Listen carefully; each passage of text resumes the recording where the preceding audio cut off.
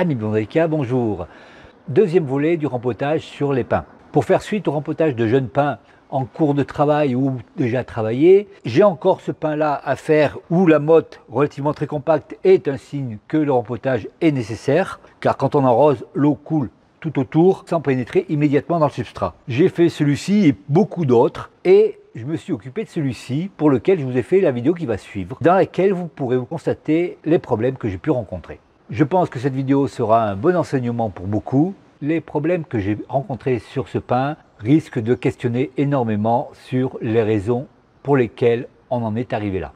Et vous pourrez voir que la réponse aux faiblesses que j'ai trouvées sur cette branche-là se trouve bien dans le pot. Cette petite intro terminée, je vous souhaite un bon visionnage.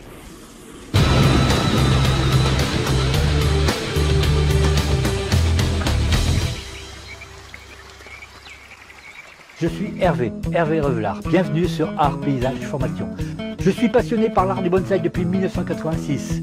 Alors si tu veux apprendre à faire du bonsaï à partir de rien, reste sur cette chaîne, on boira une bière ensemble et on fera du bonsaï.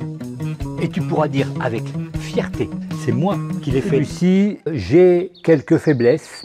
À ce niveau-là, les aiguilles sont un peu molles. Vous voyez, alors il est très très vigoureux sur la partie du haut, mais sur la partie du bas, il manque un peu de vigueur. Donc il va falloir que je nourrisse bien cette année car c'est un arbre que j'ai envie de retravailler. J'ai envie de lui redonner un petit design un peu différent, c'est-à-dire que je vais garder cette forme, mais voilà, il va falloir que certainement je repositionne pas mal de branches. Il n'a pas été formé depuis longtemps. Il a besoin d'un relooking que je ferai certainement l'hiver prochain. Mais pour cela, j'aimerais qu'il prenne vraiment euh, la patate cette année.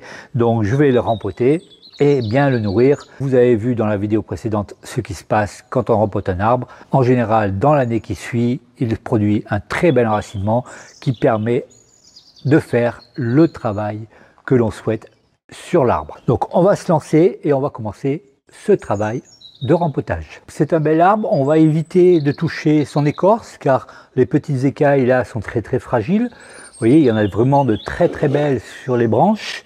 Y en a des écailles qui sont vraiment très très très fragiles, qui se décollent.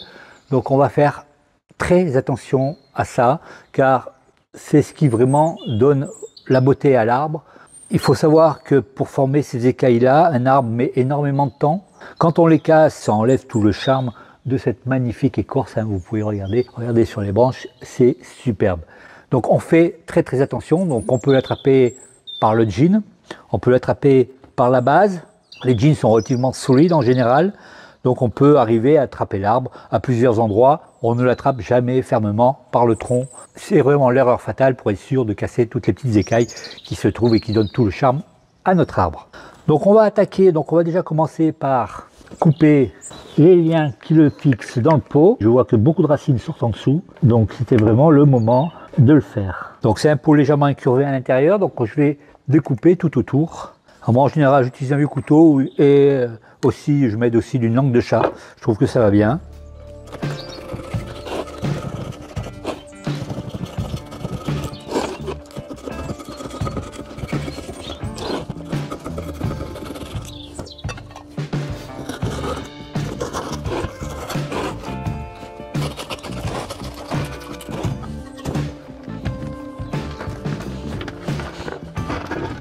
Je ne sais plus à qui j'ai acheté ce pot. C'est un pot cuit euh, au bois. Il y a des logos à l'intérieur. Si quelqu'un peut me donner le nom du potier qui a fait ce pot, ce serait sympa. J'aimerais bien le savoir. Je trouve que ce pot est assez sympa. J'aime bien sa texture, il va bien avec mon pain. Ça me permettra de mettre un nom sur la personne qui a fait ce pot pour pouvoir euh, l'indiquer quand on nous le demande. Alors comme d'habitude, on gratte un peu toute la partie superficielle. Hein. voilà en enlevant toutes les petites herbes qui s'y sont installées et en particulier les sagines. La sagine est assez euh, invasive. Quand elle commence à s'installer, j'en laisse un petit peu, mais je surveille vraiment qu'elle n'envahisse pas euh, le pot. J'aime bien sa petite fleur, euh, quand elle en produit la petite fleur blanche là. Je trouve que ça met un peu de verdure dans, dans le pot, mais il faut juste surveiller et faire attention qu'elle n'envahisse pas toute la surface de votre pot. Ça peut arriver très vite.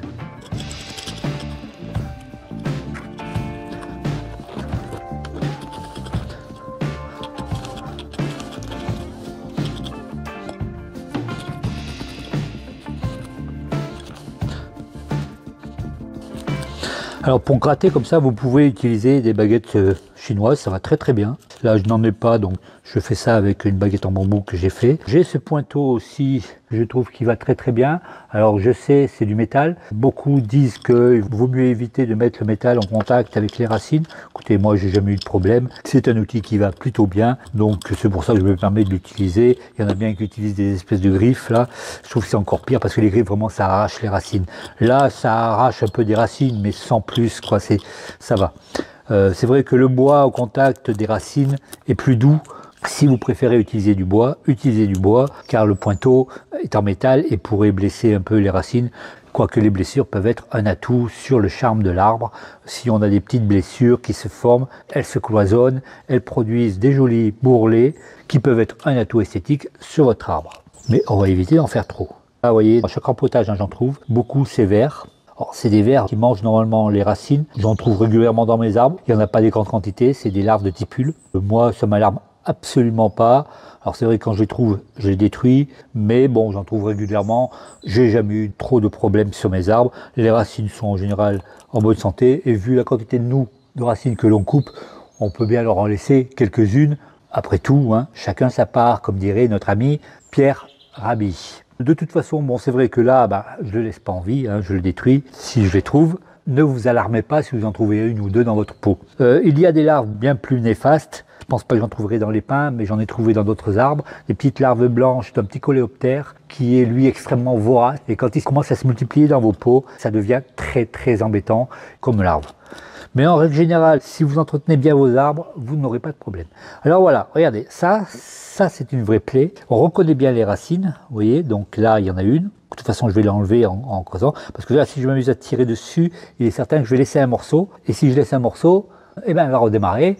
C'est une variété de petites trèfles hein, qu'on reconnaît facilement. C'est des oxalis quand ils fleurissent, les graines sautent partout et ils se multiplient très très rapidement dans tous vos pots. Et donc vous pouvez difficilement vous en débarrasser quand vous commencez à en avoir. Vous voyez, j'en ai là, j'en ai là. Pour les enlever, il faut vraiment aller creuser autour de façon à libérer la racine et bien enlever cette petite racine que vous voyez. Vous voyez, ça fait vraiment une plaie, euh, ça se multiplie partout. Il faut vraiment les virer.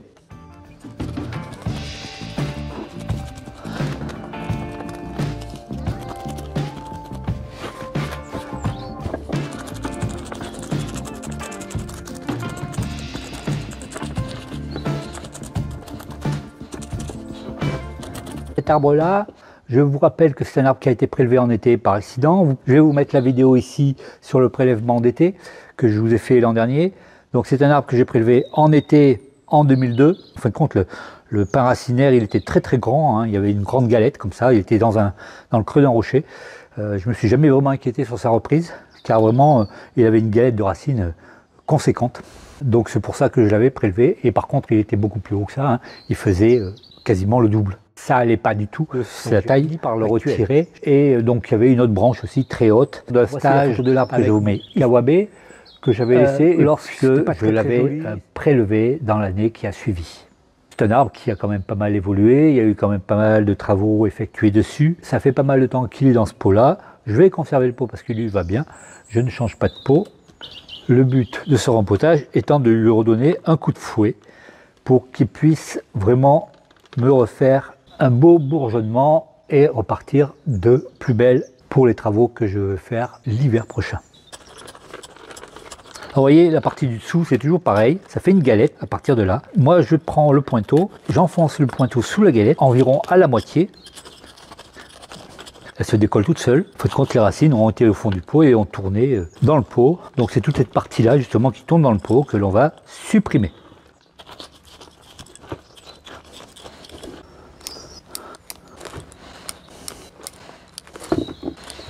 Comprends mieux son état de santé. Il a beaucoup de racines sèches et mortes. Donc justement, vous voyez, c'est vraiment nécessaire de le rempoter. Ça, c'est pas bon. Il a eu un petit problème racinaire. Peut-être cela explique aussi la branche qui est là, qui est toujours jaune, et ce manque de vigueur. Je pense que ce rempotage était vraiment bénéfique et il fallait vraiment le faire. Il était important. C'était vraiment le moment. Il fallait pas attendre plus. Voyez le problème des grilles qui sont dans le pot, hein. vous allez voir, euh, je vais le refaire sur ce pot-là. Vous avez vu dans la vidéo précédente comment je pratique maintenant. Je ne mets plus les grilles dans le pot puisque vous voyez, on les retrouve toujours remontées plus haut dans le substrat. Des fois, elles se bloquent totalement dedans.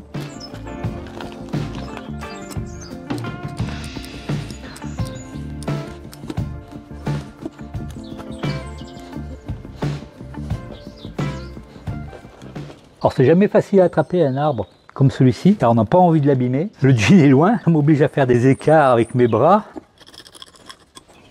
Toutes ces racines-là sont sèches, sont mortes. Pas tout, mais c'est une grosse partie. Hein très très grosse partie. Apparemment, ça a l'air d'aller au niveau de la base, mais c'était un arbre qu'il fallait vraiment faire. C'était vraiment important de le faire maintenant. C'est même inquiétant l'état racinaire dans lequel il est. Je m'attendais pas à trouver de tels dégâts sur le plan racinaire. Il y a de la mycorhize sur les racines du haut, donc ça c'est signe qu'il y a quand même euh, la vie au niveau ici. Vous voyez les parties mortes ici. On a quelques racines hein, qui sont vivantes ici, qui ont un peu de mycorhize, mais la plupart des racines mortes, vous voyez, il n'y a rien dessus. C'est tout sec très inquiétant.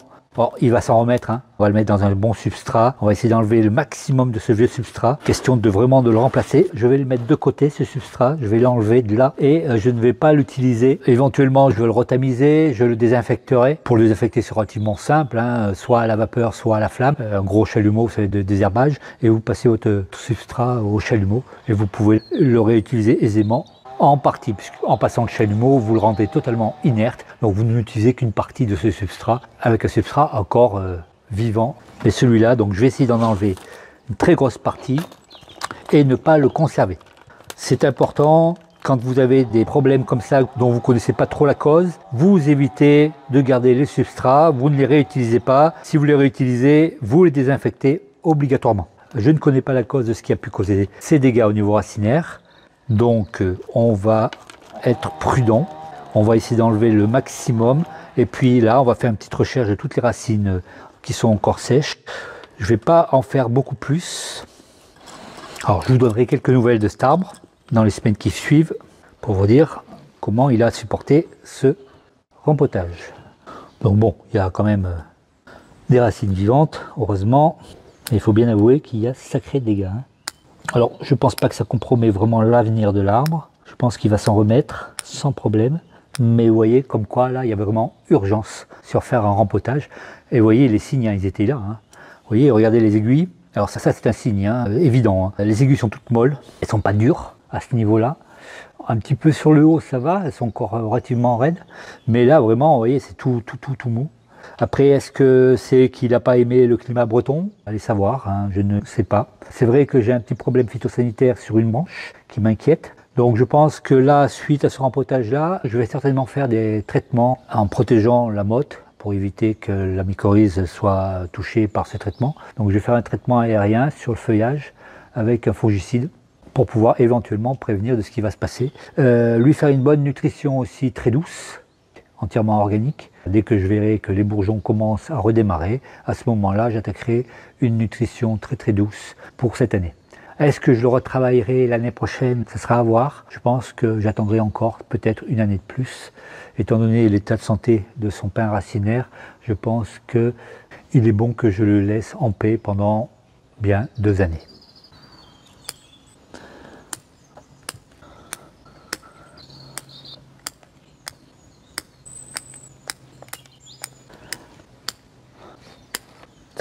Toutes les racines sont vraiment euh, à la base ici sont encore saines. Il faut que j'essaye d'enlever le maximum de ce qui est sec. On voit bien, là, même il y a la sève qui, qui brille bien, donc euh, il n'y a pas de problème. Je pense qu'il va s'en remettre sans problème. Je ne suis pas trop inquiet par rapport à ça. Là, je me rends compte vraiment de l'importance de ce rempotage sur un arbre qui était dans le, peut-être pas dans le déclin, mais euh, mal en point. Ce genre de choses peut arriver, je l'ai vu arriver aussi sur des arbres qui subissent des fortes gelées. Très souvent, toute la couronne comme ça de racines peut avoir été affectée par le gel. Mais là, je ne pense pas que ce soit le gel, je pense que ça date de plus vieux que ça. L'an dernier, il m'inquiétait déjà. Il était important que je m'en occupe. On va arrêter là. Petite astuce, hein, un petit pulvérisateur comme ça, ça coûte rien. C'est bien pratique. Le substrat qui est là, je vais bien le mettre de côté et ne pas le réutiliser. On ne sait pas quel est le problème. Ne sachant pas quel est le problème, je vais éviter de conserver ce substrat et ne pas l'utiliser comme je fais habituellement. J'ai pas mal de substrats des rempotages précédents qui sont bien plus sains que celui-ci, donc que je vais pouvoir utiliser dans mon nouveau substrat. Donc j'ai préparé le pot, j'ai mis mes grilles à l'extérieur, comme vous pouvez voir dans la vidéo que je vous ai fait précédemment sur le rempotage des jeunes pins. Je me suis permis de ne pas vous remontrer ma technique, donc je mets les grilles à l'extérieur et non pas à l'intérieur comme je faisais à l'époque. Ça tient très bien, vous voyez, ça suffit largement et ça dégage bien mieux les trous d'irrigation et je pense qu'il y a quand même beaucoup moins de risques de colmatage. S'il y avait un colmatage, on peut toujours retirer la grille par l'extérieur puisque quand l'arbre a produit ses racines, elles ne sont plus forcément utiles, on peut les retirer sans problème. Il suffit juste de couper les fils, de les tirer et de retirer les grilles sans avoir à détacher l'arbre ou sortir l'arbre du pot. Je trouve cette méthode plutôt ingénieuse. Je pense que c'est quand même une bonne technique. Il faut qu'elle fasse ses preuves. Je pense que ça sera pas mal. Donc là, le pot, sa face était là et j'avais une grosse coulée de sève. Alors je pourrais toujours l'enlever avec un dissolvant. J'aime bien maintenant nettoyer mes pots avec un petit coup de karcher avant de les réutiliser. Je regardais le pot un peu plus sur toutes les coutures et ici, il y a des beaux effets flammés. On voit la flamme qui a touché ici. Utilisez ça comme face pour mon pot. Le conseil que je vous donne, mettez toujours vos fils en couple, comme ça, quand vous en avez plusieurs, pour être sûr de ne pas vous tromper de fil. Donc voilà, ma face, ça va être ici. J'ai préparé du substrat où j'ai mis à l'intérieur du substrat sain des rempotages de pain précédents, qui contiennent donc des mycorhizes qui permettront et qui faciliteront leur développement. Voilà. La face est à peu près par là. Voilà, ça, les fils tombent bien.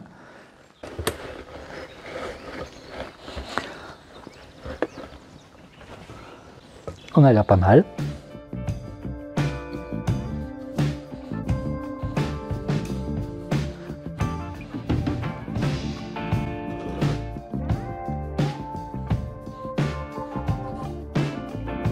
Voilà, on les serre pas tout de suite, on les met en attente on va pas remettre du substrat, un bon monticule de chaque côté.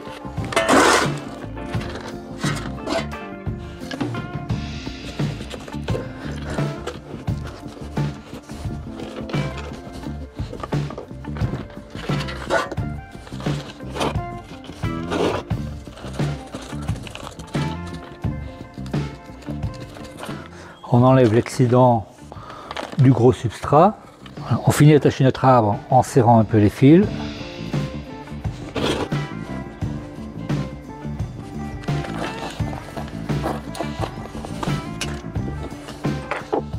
Et sur la surface, j'y mets un substrat plus fin